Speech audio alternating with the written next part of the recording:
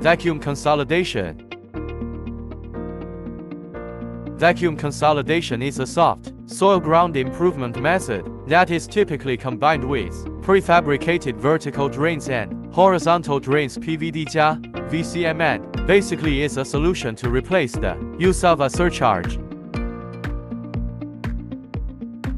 Further to the installation of the PVD, it consists of the application of a suction force with vacuum to an isolated mass of soil in order to reduce the atmospheric pressure and excess water pore pressure present in the soil, resulting in a consolidation of the soil and increase in the effective stresses without modifying the total state stresses.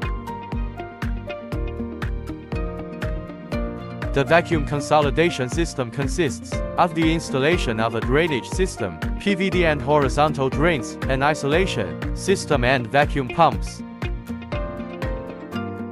Once initialized, the vacuum is quickly distributed in the soil through the drainage system, reducing atmospheric pressure and excess pore pressure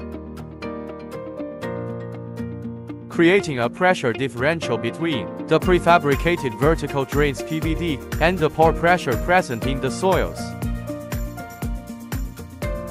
This difference in pressures causes the water to flow vertically through the drain, causing a consolidation effect.